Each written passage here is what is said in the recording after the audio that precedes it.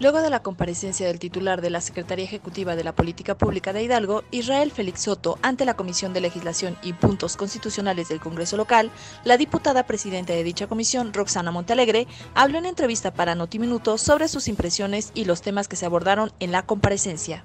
Pues es un avance, ¿no? Democrático el que podamos contrastar lo que hemos revisado en presupuesto, en datos duros, en la propia percepción de la ciudadanía y frente a uno de los hombres fuertes de, este gobierno y una secretaría que tiene un trabajo transversal.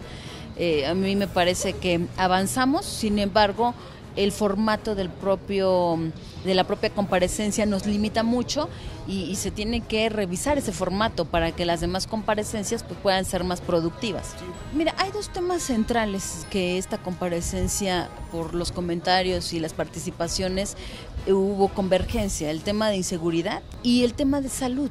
Entonces, el presupuesto de egresos 2019 tiene que ser otro elemento que nos permita que todas estas comparecencias pues puedan tener una utilidad más eh, real.